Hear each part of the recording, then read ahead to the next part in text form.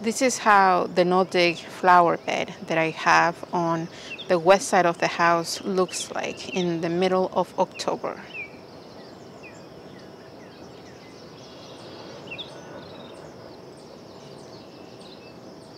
we have our first frost right around the corner, probably one more week, two week stops here in central Indiana. October is definitely the month where things are going to be dying no matter what.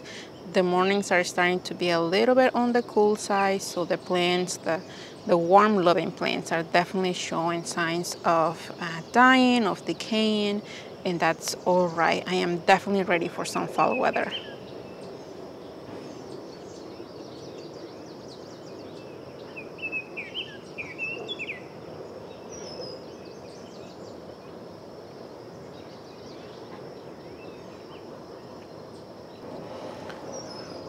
This no-dig flower bed, as I call it, is intense and it's probably one of the easiest areas in my garden as far as maintenance go and I just love the way that everything turned out this year. Because the plants are really really close together, they are shading most of the ground and I don't really have to do any weeding. I try to recall if I weed this area at all after planting all of the seedlings here, but I don't believe that I did anything to this bed as far as weeds go.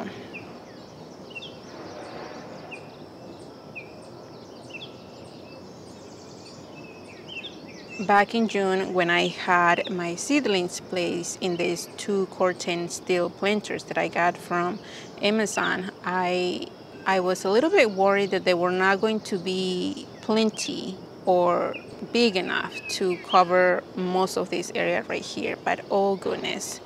The combination of plants that I have here in these containers is definitely, definitely intense and taking over that whole area, which I absolutely love.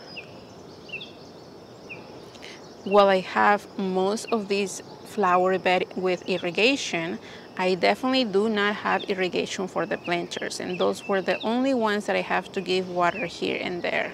I feel that because of the plants are really close together, they shade the ground, they protect it, and they keep it somewhat cooler. I didn't really have to do much watering.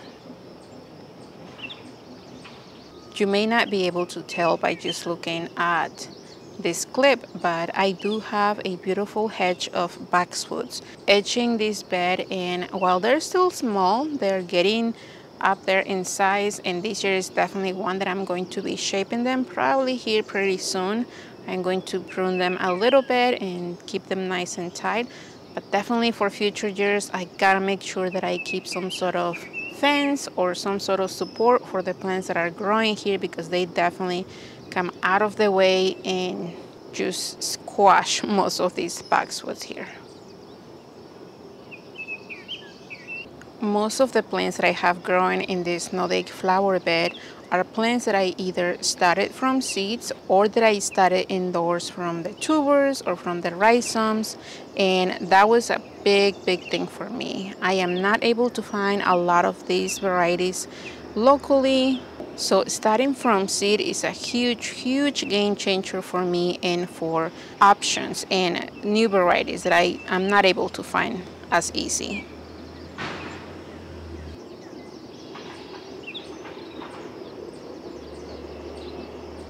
I have two types of cannas in these containers.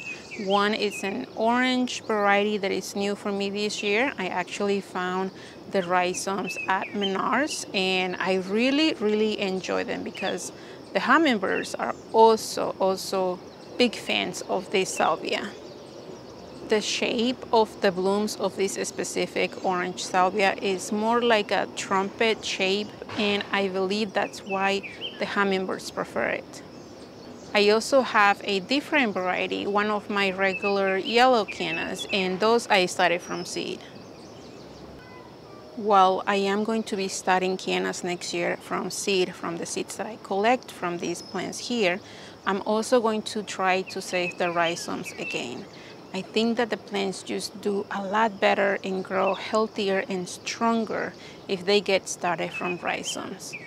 And this year was definitely, definitely a great year for these cannas. They are huge. Probably the biggest cannas that I personally have grown in my garden. Last year I planted a bunch of nasturtiums in this bed, but this year I did not. However, I had a couple of volunteer nasturtiums. They came back this year in this bed and I let them be. As you can tell, the leaves from these nasturtiums are just so, so beautiful. And some of them are really, really huge, way bigger than anything that I have grown before. Just look how big these are. You can make some tacos with these leaves. A lot of people say that volunteer plants are stronger and bigger plants, and that is definitely true, at least in my experience. One of my favorite, favorite coleus of all times, and I have said this before in other videos, is Mighty Mosaic. And I believe these are a hybrid, so I am not able to say seeds from them. If you're wondering, I purchased the seeds from Pine Tree Seeds. I'm gonna put a link to the description to their website. I don't know if they'll have them in stock when you're looking for them, but that's where I got them originally. And I just love, love the color combination of these spotted stripe type of coleus. I just love how well it just blends with everything else that I have grown in my garden. I love the burgundy splashes of color that it has around the leaves. Not every leaf is the same, which I love. And it's definitely one that I'm going to keep on growing for future years unless I find another one that becomes my new favorite. But adding these coleus, these mighty mosaic coleus with the petunias and the celosias and everything else growing here, it was just a great, great choice. Another one that I am definitely going to repeat for next year is this gorgeous, gorgeous purple millet grass. I started all of them from seed this year. And as far as I know, this one is a hybrid. So I am saving seeds knowing that it might be a different, slightly different plant. I am not sure how those will turn out, but I did test the seeds. I put them in a little bit of wet paper towel in a Ziploc bag and they are germinating beautifully. So as far as I know, the seeds are good. I just don't know what kind of grass I will get for next year, but I will keep you updated on that. I already saved a bunch of seeds and these guys are still looking just so, so amazing here.